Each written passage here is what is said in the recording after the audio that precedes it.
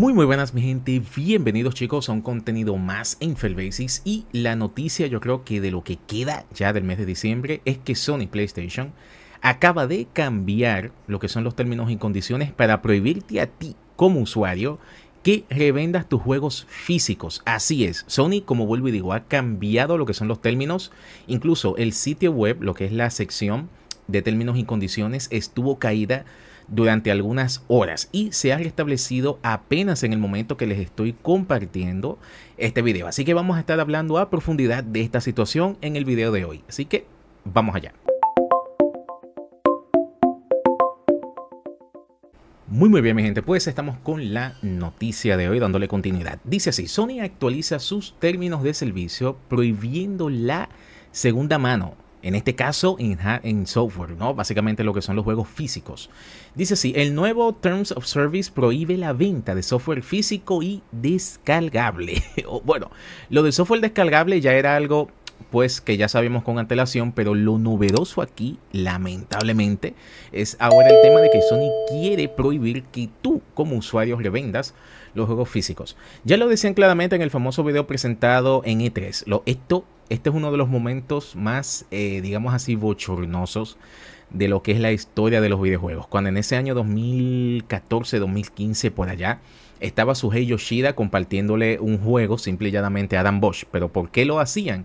Se estaban aprovechando de aquel entonces de toda la polémica que se estaba generando con la primera Xbox One, la cual venía con una serie de políticas, oye, hay que decirlo, muy eh, poco pro usuario y obviamente la comunidad se les reveló. Sony PlayStation, como el tiburón ahí que huele lo que es la sangre, pues hizo este tipo digamos, de, de, pequeño ahí corto, ¿no? Como burlándose de la situación de Xbox en ese momento. Pero sigamos acá.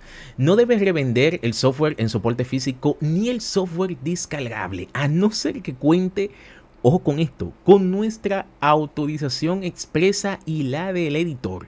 En caso de que fuera distinto a nosotros, lo cual a mí me parece totalmente ilegal terrible. O sea, ¿cómo, ¿cómo tú me vas a decir a mí que ahora Sony PlayStation me va a controlar a mí, me va a indicar a mí qué juegos yo puedo vender, qué juegos físicos yo puedo vender y cuáles juegos no?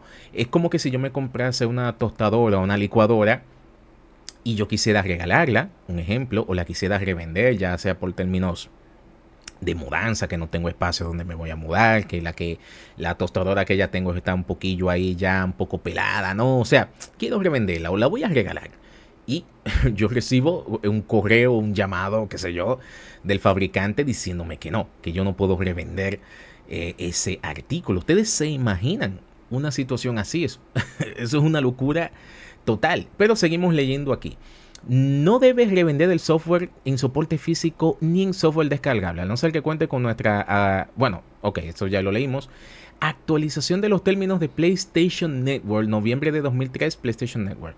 La noticia sorprende a varios niveles. Primero por cómo ha tratado Sony el tema del préstamo de juegos y la segunda mano en su campaña de promoción de PlayStation 4, destacando el préstamo de juegos sin DRM es lo que es este sistema de protección, ¿no? Y sorprende también porque ahora mismo hay varias sentencias en el Tribunal de Justicia de la Unión Europea. Recordemos que Sony está llevando un proceso legal, una demanda colectiva. recordemos que hace, uno, hace poco más de un año o dos habían perdido una demanda colectiva por publicidad engañosa en Italia. Tienen un proceso abierto, además de Reino Unido, también tienen uno en Australia. Creo que en Australia Sony tiene también un proceso abierto actualmente. O sea que los enanos le siguen creciendo a Sony como si no hubiese un mañana. Y sorprende también porque, ah, ok, sentencia papá, papá, Unión Europea intentando aclarar los derechos de los usuarios en el terreno digital. Por ejemplo, la Federación de Organizaciones de Consumidores de Alemania, bueno, la otra era Alemania, no Reino Unido, ha presentado una demanda contra Valve por la prohibición de revender juegos en su plataforma. Esto también ha sido un caso reciente. Vamos a ver aquí, hay una captura que los chicos de Eurogamer que gracias a Dios que están haciendo su trabajo, como pocas veces lo hacen, han hecho, han tomado una captura en este caso de la actualización. Y aquí en el apartado número 7, la cláusula 7 del contrato, podemos ver esta información. Dice así, no debes revender el software en soporte físico ni el software descargable, a no ser que cuente, y vuelvo y digo, con nuestra autorización expresa y la del editor. O sea que en caso de que tú quieras revender un juego físico, tú tienes que ponerte en contacto con Sony, escribirles. Todos sabemos lo malo, lo nefasto, lo pésimo que es el servicio al cliente de Sony. Esta gente te responden cuando a ellos le pica a un lado del PIB. Eh, o sea, básicamente te responden cuando pasa eso. Cuando ellos se miren ahí eh, debajo de los pantalones y le pique, es ahí cuando ellos te van a responder. Te van a decir, oh, sí, sí, sí, sí, claro, recibimos su correo. Pero no te vamos a permitir revenderlo. Todos sabemos que la respuesta que todos van a recibir de Sony PlayStation es que no se puede, porque lo que quiere Sony es controlar lo que es el flujo de dinero, ya lo ha hecho con lo que son las tiendas físicas, tiendas como GameStop, que es el caso más reconocido. Hay muchas afectadas, pero el más reconocido es GameStop. GameStop ya Sony PlayStation hace tiempo que les ha quitado soporte a lo que son estas tiendas y desde que Sony les ha quitado el soporte, estas tiendas se han venido totalmente abajo. ¿Por qué? Porque daban un favoritismo claro a Sony PlayStation. Hace unos años tú te ibas a los escaparates de tiendas como GameStop o cualquier minorista de videojuegos y tú veías que todo lo que había era Sony PlayStation. Apenas había nada de spots, no había nada de, de Nintendo, ni miedades totalmente. Y la, incluso la misma tienda estaba organizada, decorada, a tal modo de que pareciese que fuese solamente una tienda de Sony PlayStation. Y puede que como yo lo diga, podría parecer exagerado, pero no, no es así. Por eso es que estas tiendas como GameStop y compañía están ahora viviendo momentos turbios, están muy, muy mal económicamente. Bueno, yo he publicado varios videos aquí en mi canal de la situación tan precaria eh, que está pasando GameStop. Vamos a seguir acá entonces. ¿Es legal la segunda mano? Bueno, por supuesto que la segunda mano es legal. Realmente estoy totalmente anticonsumidor en este caso. Pero vamos a ver lo que dice Eurogamer al respecto. Dice, en Game Industry trataron recientemente el tema y no está claro del todo. Claro que está clarísimo. Es lo mismo, viejo. Es como que yo me compro este mando este mando de Xbox eh, Series X. Es como que yo me lo compro y yo quiero regalarlo o venderlo. Lo que dice este contrato es que yo por vender este accesorio yo tendría que ponerme en contacto con Microsoft y decirles, Microsoft, eh, ¿puedo yo vender este control? ¿Es posible eh, venderlo? ¿Me dan ustedes el permiso? ¿Puedo hacerlo? Lo cual es una total estupidez. Sony PlayStation sería, yo creo, la primera compañía de videojuegos en la historia que aplica una medida tan agresiva, tan anticonsumidor, eh, bueno, a los usuarios ¿no? de Sony PlayStation. Lo cual me parece a mí muy triste, muy lamentable que Sony esté eh, llegando a estos extremos. El que no lo quiera ver, oye, yo lo siento mucho que no lo quiera ver, pero Sony ahora mismo está en una situación crítica muy delicada. Muchos están especulando sobre la lo que ya sería una desaparición de lo que es la marca Sony PlayStation. Y visto todo lo que está pasando, oye, no queremos tampoco ser tan drásticos, obviamente yo no voy a meter tanto así la mano al fuego, pero coño, es que lo que está haciendo Sony, lo que estamos viendo con el tema de los despidos últimamente, las medidas, los fracasos que han tenido con juegos comerciales como es el Spider-Man 2, ese juego nadie ya habla de él, nadie habla del Spider-Man 2, nadie habla del Final Fantasy 16, han sido desastres totales. ¿Y esto cómo afecta? Siendo francos por ahora en nada. La venta física son hechos por el momento y si, estás y, si a estas alturas no se ha filtrado ningún DRM en la nueva máquina de Sony, podemos dar por sentado que no lo lleva.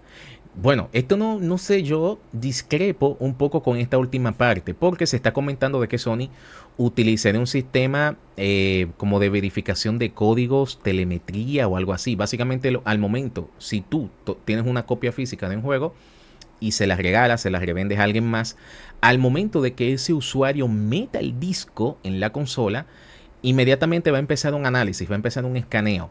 Si Sony detecta que el código de tu copia física concuerda con el de la otra máquina anterior, donde originalmente eh, se, introdujo este disco por primera vez, pues inmediatamente em, directamente el juego no arrancaría, no sé qué medida aplicaría Sony al respecto. No sé si te briquearía la consola temporalmente o si el juego simplemente no va a arrancar. Creo que sería el primer caso. Creo que el juego directamente no subiría, el ejecutable no funcionaría. Y tendrás entonces que, bueno, conformarte con una copia física tipo papeles Creo yo que por ahí va la cosa sin ponerme muy muy técnico en el tema. Pero vamos a ver qué comentan, qué se está comentando aquí en redes sociales para que vean, no me hagan solamente caso a mí. Vamos a ver lo que, está eh, lo que se está diciendo en X. Fíjense que todo el mundo en X está compartiendo. Miren, el, gamer informado lo hace. Está compartiendo la noticia incluso hoy mismo, hoy día, eh, bueno, eh, hace algunas horas la compartió, el día de ayer. Esto pasó prácticamente ayer domingo podemos ver incluso más posts. Miren aquí, Sector Games, este usuario Javier también lo hace, Reset, el medio Reset también lo está comentando, Big Japan, el devorador. O sea, hay una gran cantidad de personas y medios de prensa que están comunicando esta noticia. Todo el mundo está hablando ahora mismo de esto en X. Es la comidilla de la mañana de hoy. Y creo yo que va a ser el tema de lo que queda del mes de diciembre. Sino, incluso, tal y como les comentaba, al inicio del vídeo, eh, la sección legal de los términos y condiciones de Sony estaba caída totalmente. Obviamente una movida totalmente eh, sucia, bajísima por parte de Sony para que la gente no se hiciese eco, no, tome, no más gente no tomase lo que son las capturas de pantalla y obviamente no hubiesen quizás más argumentos en cuanto a esto. El momento de que les estoy subiendo este video eh, ya ha subido nuevamente. Fíjense aquí la, lo que es la sección de términos legales de Estados Unidos. Esto solamente se dio en la de Estados Unidos porque inmediatamente cuando Sony se dio cuenta de que ya todo el mundo se había percatado de que los términos y condiciones habían cambiado de manera tan, tan salvaje, tan servística, porque no hay, no hay otros términos para mencionar esto, le habían dado de baja a lo que es la sección legal. Esta, esta sección de aquí como vemos, estuvo caída. Estuvo caída durante varias horas. Se acaba de reactivar a primeras horas de la mañana de hoy, lunes. Eso es importante recalcarlo, ya que me imagino que en van a poder encontrar varias capturas de anoche, de anoche de ayer domingo, de cuando estaba caída la sección. Esto lo digo para constatar, reafirmar lo que estoy diciendo de que no es una cosa que yo me vengo aquí a inventar ni nada de eso, que no, no, no, no. Esto ha pasado, pasó ayer domingo y se ha armado todo un escándalo en cuanto a esta situación. Realmente es lamentable, como vuelvo y digo, la situación en la que se encuentra Sony. No es para nada esa Sony, esa Sony de la primera Sony PlayStation, de la PlayStation 2. Sony ha perdido mucho, mucho prestigio con el paso de los años. No son ni la sombra ya de lo que eran antes. Obviamente, siempre han tenido políticas muy, muy agresivas en el sector de los videojuegos. Sabemos que en sus inicios se robaron un montón de IPs de otros developers. Eso para nadie es un secreto, ya eso es algo cultural, es algo ya de historia de lo que son los videojuegos. Pero lo que está haciendo Sony ahora en estos últimos años, y más ahora en este año 2023, que ya casi finaliza, es muy, muy triste, como digo, muy lamentable, una actitud de, de, ser un cerdo total, lo que está haciendo Sony, y cada vez más atropellan a sus usuarios. Yo, en lo personal, yo, aún teniendo el dinero, que no lo tengo, no lo tengo, aún teniendo el dinero, yo no gastaría, valga la redundancia, lo que es mi dinero y mi tiempo en una compañía y una consola con estas prácticas. Ya que en un futuro ya Sony cambie sus políticas, que mejore, que saque productos de mejor calidad, que haya un cambio radical en la forma en la que tratan al consumidor, por supuesto, oye, yo y cualquiera lo pensaría, dice, bueno, coño, eh, Sony está haciendo las cosas bien. Vamos a ver, vamos a, chequear lo que están haciendo, vamos a darle una oportunidad porque veo que han mejorado mucho. Pero es que lamentablemente la Sony actual a mí me lo pone muy difícil. Yo, yo lo siento mucho. Yo lo tengo más difícil que nunca para hablar bien de Sony PlayStation. Es que yo no puedo hablar bien de una marca que sale con estas barrabasadas. La hackean a cada 2x3. El tema de la PlayStation Network se cae muchísimas veces al año realmente. Y la información está en los sitios web que se encargan de registrar esas caídas. Eso no lo digo solamente yo. Esa información está en la web. Oye, no solamente eso, bueno, las filtraciones ya lo mencionamos y sobre todo la forma, mano, eh, la, la manera en la que tratan a los usuarios, la calidad de lo que es la consola, que lamentablemente deja mucho que desear. Son cosas que, como digo, a mí me lo dificultan bastante. Hablar bien ahora mismo de Sony PlayStation. Pero bueno chicos, ya lo saben, mucho cuidado con esto, ya es oficial, Sony ha cambiado los términos de servicio para prohibir la venta de sus videojuegos, de sus copias físicas en lo que es el mercado de segunda mano. Mucho cuidado con eso, ojo con ese tema, ya que es algo que influye muchísimo en lo que es la economía del consumidor.